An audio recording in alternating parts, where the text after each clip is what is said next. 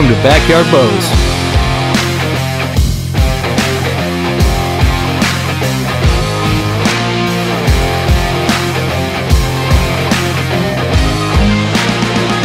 Hey, welcome to Backyard Bows. I'm Brandon, and today we are going to take a look at the UltraView thumb button. So, uh, if you've been following us along on Instagram, you'll realize we've been going at it with the releases. Uh, I probably had 10 to 12 different releases in house, and we have narrowed it down to three. So the best for 100, around $100, the best one for around $200, and then what I would say the best investment you can make. Uh, so we have the UltraView here, UV button. Um, it comes in two different options. So you have a steel one, which is a little bit heavier, and then you have the aluminum one here.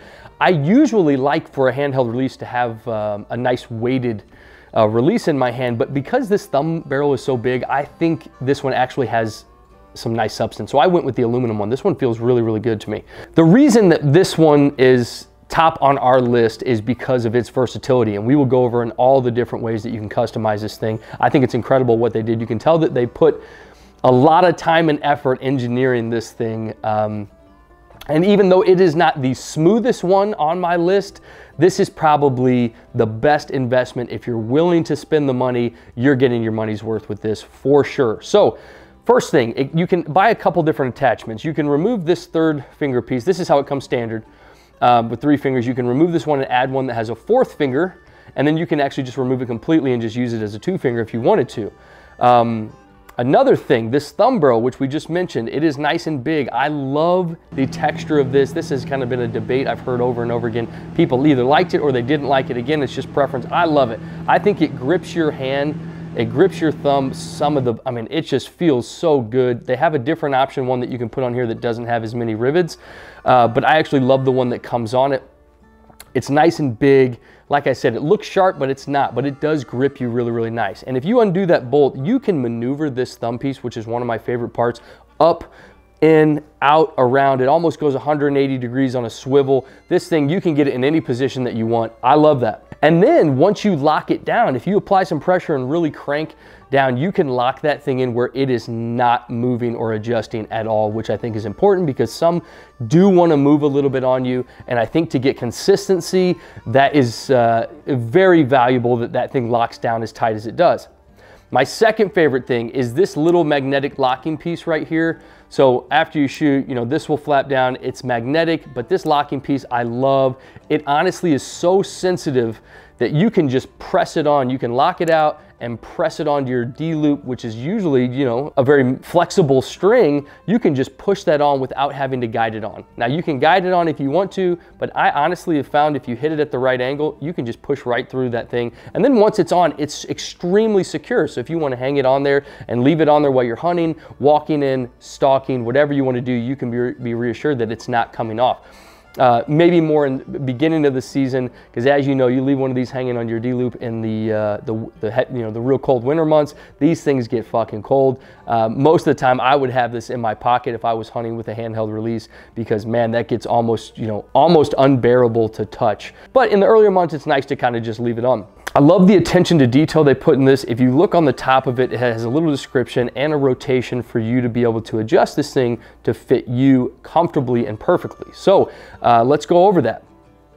First thing you're going to want to do is going to take your force or your tension, uh, the amount of um, force that is applied to the button to release it. You're going to want to back that all the way out until it can't be backed out anymore.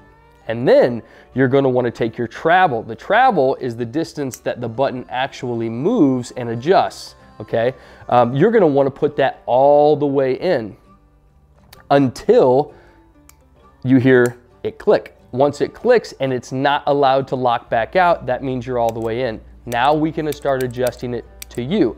So the first thing you're gonna to wanna to do after you get it to click out is going to wanna readjust your travel out a couple, maybe a turn, a half a turn or a turn, just so you can get this to lock back out and now we can start customizing it. Um, I actually like a little bit of travel to mine. They recommend that you have little to no travel. I like a little give, so I actually backed it out an entire another turn, maybe even a little bit more. And then I started messing around with my force or the tension. Again, the tension can be as sensitive as you want it, but one thing that I really do like about this is if you do max it out, it has a lot of tension to it. So again, a nice wide range of hunters.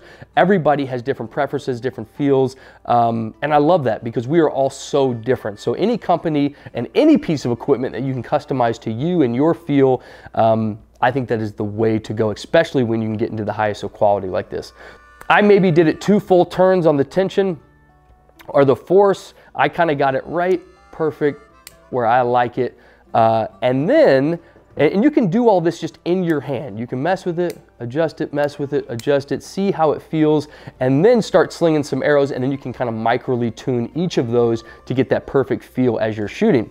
And I got this one to feel just how I want it. The guy who I borrowed this from is not gonna like it that I messed with it, but he can kind of go back to the drawing board and get it back how he likes it. But um, let's go outside here in a second. We're gonna sling a whole bunch of arrows. We'll do a little freestyle shoot with it. Then we'll give you our final thoughts on it. We'll also test the sound. They say this is a really, really quiet one. This would be one of the first releases that we've reviewed, so we don't have anything to compare it to, but we will put it up to the decibel reader and see how loud that initial click is and how loud the release is. Something else that we will test. But uh, let's go outside, let's sling a whole bunch.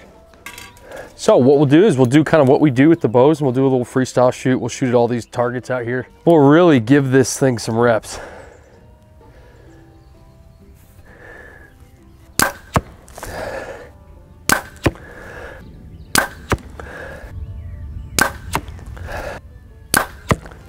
For somebody who doesn't normally use a handheld release, I think this has been one of the most comfortable and easiest to make that adjustment.